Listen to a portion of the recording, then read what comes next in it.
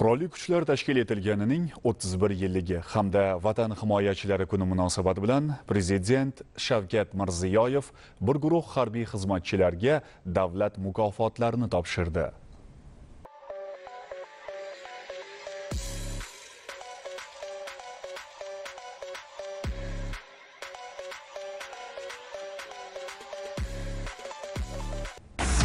14 yanvar qurolli kuchlarimiz tashkil etilganiga 31 yil to'ldi. 31 yil doimiy sa'y harakatlar islohotlarimiz samarasi o'laroq mamlakatimiz xavfsizligi va xalqimiz osoyishtaligini ta'minlashga qodir bo'lgan har tomonlama zamonaviy qurollangan qudratli armiya ayni shu davrda shakllandi. So'nggi yillarda prezident boshchiligida harbiy qurilishning barcha yo'nalishlari bo'yicha muhim qarorlar qabul qilindi. 2023 yil avvalda o'zbekiston armiyasining global firepower reytingida markaziy osiyodagi eng qudratli armiya sifatida tan olinishi bu islohotlarning munosib bahosi bo'ldi. O'zbekiston respublikasi prezidentining 12 yanvardagi farmoniga muvofiq mamlakatimiz qurolli kuchlari tashkil etilganligining 31 yilligi hamda vatan himoyachilari kuni munosabati bilan ana shu maqomga erishish yo'lida yelkadosh bo'lgan harbiy xizmatchilar va huquqni muhofaza qilish organlarining bir guruh xodimlari harbiy unvonlar orden va medallar bilan mukofotlangan edi. Bugun 13 yanvar kuni ushbu yuksak mukofotlarni topshirish marosimi bo'ldi.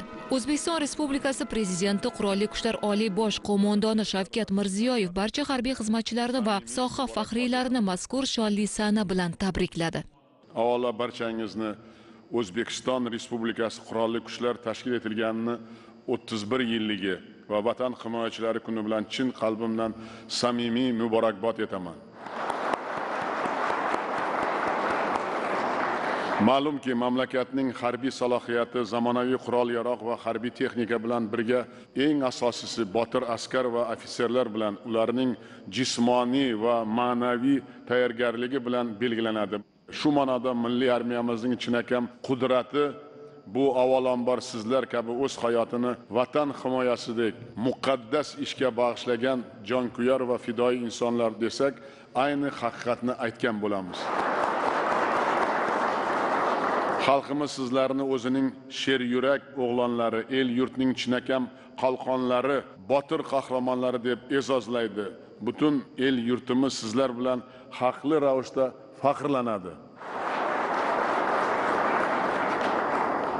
Hurmatli vatan posbonlari barchangiz guvohsiz. Bugungi kunda vatanimiz himoyasining mustahkam qalqoni bo'lgan ixcham va tezkor katta harbiy salohiyatga ega zamonaviy armiya barpo etildi. O'zbekiston qurolli kuchlarining yangi munosib avlodi shakllanyapti. O'tgan qisqa vaqt ichida biz milliy armiyamizning rivojlantirish va modernizatsiya qilish bo'yicha juda katta ishlarni amalga oshirdik. Bu yo'lda barcha qiyinchiliklarni yengib o'tdik. Eng muhim natija xalqimiz bilan armiyani birlashtirdik bir tanu bir jon qildik desak bu ham haqiqat. Bugun keksa yosh barcha yurtdoshlarimiz bu bizning armiyamiz deb g'urur bilan aytadigan bo'ldi. Harbiylik obro' e'tibor kasbga yoshlarimiz orzu qilayotgan sohaga aylandi. Albatta milliy armiyamiz uning yangi tizimini barpo etishda sizlar kabi ming minglab fidoyi insonlarning ulkan xizmatlari cheksiz va buni albatta qadrlaymiz. Biz bu haqiqatni doimo minnatdorchilik bilan e'tirof etamiz. Hammangiz yaxshi bilasiz biz olib borayotgan barcha islohotlar zaminida inson qadri uchun xalqimizni rozi qilish uchun degan oliyjanob maqsad mujassam. Insonni qadrlash degani bu eng avvalo har bir fuqaroning oilasi mahallasi tinchligini yurt osoyishtaligini ta'minlash degani. Insonni qadrlash uchun birinchi navbatda osmonimiz musaffo sarhadlarimiz daxlsiz chegaralarimiz mustahkam bo'lishi kerak. Bugun sizlar mana shunday vazifani sharaf bilan ado etmoqdasiz. Sizlar bor xalqimiz tinch va xotirjam. O'zining bugungi va ertangi kuniga ishonch bilan qarayapti va shu ishonch mustahkamlab borilyapti. Bu esa mamlakatimiz xavfsizligini ishonchli qo'llarda deb aytishga asos beradi. Shu bois sizlar kabi vatanimizning chinakam mard va fidoyi farzandlarini har qancha e'zozlasak har qancha ehtirom ko'rsatsak arziydi bugun sizlarga topshirayotgan yuksak mukofotlarni xalqimizning el yurtimizning samimiy ehtiromi ramzi sifatida qabul qilasizlar deb ishonaman. Qadrli do'stlar bugun ilk bor harbiy okruglar o'rtasida o'tkazilgan tanlov g'olibiga amir temur jangovar bayrog'i ham topshiramiz. Bu yangi o'zbekiston tariximizda yangi yo'nalish. Barchangiz bilasiz amir temur bobomiz bironta jangda yengilmagan. Sohibqironning bayrog'i hamisha baland hilpirab turgan. Shuning uchun biz ham mana shu yengilmas bobomizni hilpiragan bayrog'ini xalqimizga ayniqsa yoshlarimizga yetkazishimiz kerak. Ana shu eng katta bizni maqsadimiz. Bu jangovar bayroq ona vatanga sadoqat yuksak harbiy mahorat g'urur va iftixor timsolidir. Aynan shuning uchun biz armiyamizda mana shunday nufuzli mukofotni ta'sis etdik. Qurolli kuchlar oliy bosh qo'mondoni sifatida amir temur jangovar bayrog'ini ushbu tanlovning birinchi g'olibi markaziy harbiy okrug qo'mondoniga tantanali ravishda topshirish menga katta mamnuniyat bag'ishlaydi.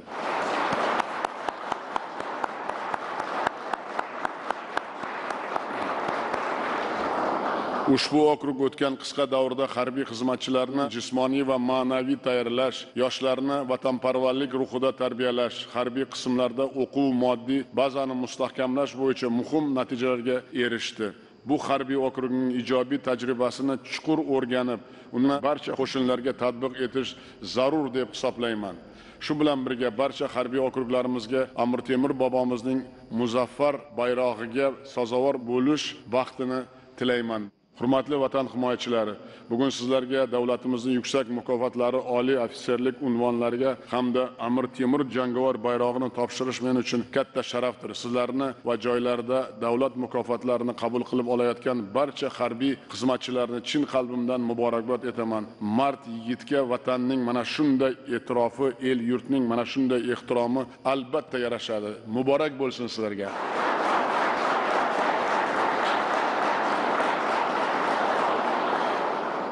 Ishonchim komil. Yangi o'zbekiston armiyasi vatanimiz manfaatlari yo'lida mustahkam turib xalqimiz ishonchini oqlab o'z oldidagi vazifalarini sharaf bilan ado etadi. Yana bir marta bugungi tantanali kun bilan tabriklab sizlarga mustahkam sog'lik oilaviy baxt mas'uliyatli sharafli vazifalaringizga yangi yutuq va zafarlar tilayman.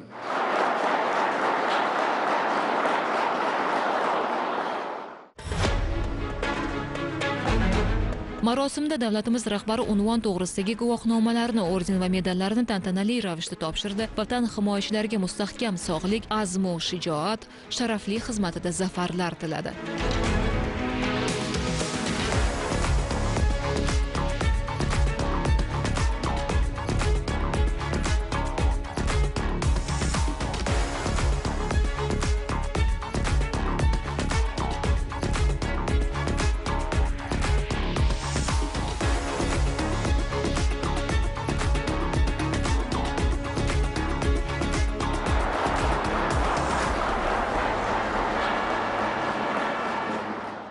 Mard yigitga vatanning mana shunday e'tirofi el yurtning ehtiromi albatta yarashadi. Ko'ksiga medali orden yarashganlarning bugun prezident oldidagi tashakkuri endigi katta maqsadlari tadbirga yanada yarashiqli bo'ldi. Bu yilgi tantanali tadbir yana bir jihati bilan esda qolarli bo'ldi. Bu amir temur jangovar bayrog'ini topshirish marosimi. O'zbekiston respublikasi prezidentining farmoyishi. O'zbekiston respublikasi mudofaa vazirligi qo'shinlarida 2021-2022 yillarda o'tkazilgan amir temur jangovar bayrog'i uchun musobaqasi natijalariga ko'ra g'olib deb topilgan markaziy harbiy okrugi amir temur jangovar bayrog'i bilan taqdirlansin. Ushbu okrug o'tgan qisqa davrda harbiy xizmatchilarni jismoniy va ma'naviy tayyorlash yoshlarni vatanparvarlik ruhida tarbiyalash harbiy qismlarda o'quv moddiy bazani mustahkamlash bo'yicha muhim natijalarga erishdi. Bu harbiy okrugning ijobiy tajribasini chuqur o'rganib uni barcha qo'shinlarga tatbiq etish zarur deb hisoblayman. Shu bilan birga barcha harbiy okruglarimizga amir temur bobomizning muzaffar bayrog'iga sazovor bo'lish baxtini tilayman dedi oliy bosh qo'mondon. Muhtaram prezidentimizni qurolli kuchlar oliy bosh qo'mondonimizni shaxsan o'zlarini qo'lidan davlat mukofotini oldim bu menga juda katta mas'uliyat yuklaydi o'z kasbimga sadoqat bilan xizmat qilishga mana shu mehribonlik uyidagi bolajonlarni tarbiyalashda ularni vatanparvarlik ruhida tarbiyalashda ularni baxti kamoli kelajagi uchun albatta qayg'urishga mana shu vatanimizga elimizga xizmat qiladigan haqiqiy vatanparvar elparvar qilib tarbiyalash mas'uliyatlarini yuklaydi juda ham xursandman bu nafaqat meni yutug'im balki meni ustozlarimni men bilan birga yelkama yelka xizmat qilib kelayotgan quroldosh yelkadosh do'stlarimni Э, hamda yigirma ikkinchi sonli mehribonlik uyidagi tarbiyachi va tarbiyalanuvchi bolajonlarimni e, jamoamizni ham yutug'i deb bilaman. Oldinga qarab yanada o'z ustimizda mustaqil ko'proq ishlashga mana shu ona vatanimizga sadoqat bilan shijoat bilan jasorat bilan xizmat qilishimizga undaydi. Va o'z ustimizda yanada ko'proq shug'ullanamiz. Bugun shaxsan davlatimiz rahbari qurolli kuchlar oliy bosh qo'mondonidan ushbu yuksak davlat mukofotini olganligim nafaqat menga balki menga ta'lim tarbiya bergan ota onamga ustozlarimga harbiy jamoamga berilgan yuksak baho e'tibor ishonch deb bilaman. Bu albatta meni jamoamga va shaxsan menga mas'uliyat kuch eh, g'ayrat qo'shadi. Bugungi kunda davlatimiz rahbarini olib borilayotgan keng ko'lamli islohotlar natijasida mudofaa vazirligi tizimida jahon standartlariga javob bergan o'quv markazlari tashkil etildi. Xususan men rahbarlik qilayotgan merganlar tayyorlash markazi nafaqat mudofaa vazirligi uchun balki qurolli kuchlarning barcha kuch tuzilmalari uchun malakali merganlarni tayyorlashda jonbozlik ko'rsatgan. Shaxsan mana shu markazimizda tamomlagan merganlarimiz o'tgan yili venesuela turkiya kabi va eron kabi davlatlarda nufuzli xalqaro merganlar musobaqalarida ishtirok ketishdi. Faxrli o'rinlarni qo'lga kiritishdi. Hali bunaqasi bo'lmagan. Venesuelada bo'lib o'tgan musobaqada yurtimiz merganlari birinchi o'rinni qo'lga kiritib kelishdi. Bu aslini olganda e, juda olamshumul e, yangilik mana shunday natijalar bilan bizni o'g'lonlarimiz yana bir marotaba o'zimizni buyuk sarkardalarimizga munosib ekanliklarini isbotlashdi. Bugungi muvaffaqiyat bu jamoamga va shaxsan menga mas'uliyat yuklaydi oldimizga qo'yilgan topshiriqlarni sabr bilan shijoat bilan ado etishga bizaga albatta kuch beradi. Davlat rahbarini qo'llaridan davlat mukofotini olish bu har bitta yigitga albatta bu e, kuch g'ayrat bag'ishlaydi yurtimizda aynan qurolli kuchlar tizimida bo'layotgan islohotlar bu milliy gvardiyamizning mardlik va jasorat maktabi sifatida shakllanayotganligini qolaversa jismonan va ruhan tayyorgarligimizni sifat jihatidan oshirilishi natijasida barcha bo'linmalarimizda bugun jangovar shaylik yanada yuqori darajaga ko'tarildi. Bizning asosiy maqsadimiz bu jamoat tartibini saqlash va xavfsizligini ta'minlashda burch jasorat sadoqat shiori ostida vatanimizni himoya qilish biz uchun sharafdir. Davlat rahbarini milliy gvardiyaga bo'lgan ishonchini biz ko'z qorachig'imizda asraymiz. Davlatimizning yuksak mukofoti bo'lgan shuhrat medali bilan taqdirlandim. Prezidentimizning qo'llaridan olish bu mening kuchimga kuch g'ayratimga g'ayrat qo'shadi va shijoatimni yanada oshiradi. Ota onam mening ustozlarim ularning e, xizmatlari juda katta. Yetti yildan beri maxsus operatsiya kuchlarida xizmat faoliyatini olib bormoqdaman. Mamlakatimizning barcha sohalarida shu jumladan qurolli kuchlarimizda ham juda katta islohotlar olib borilmoqda ushbu islohotlar samarasini jamoamiz erishayotgan xalqaro musobaqalar natijasida ham ko'rishimiz mumkin. Jumladan armiya ikki ming yigirma ikki xalqaro armiya o'yinlarida ishtirok etib uchinchi o'rinni ikki ming yigirma ikkinchi yil xalqaro armiya yo'llarining ishonchli qabul yo'nalishida ishtirok etib o'n uchta davlat jamoalari o'rtasida faxrli ikkinchi o'rinni egalladik musobaqa davomida prezidentimizning xalqimizning bizga bo'lgan ishonchi bizning kuchimizga kuch bag'ishladi.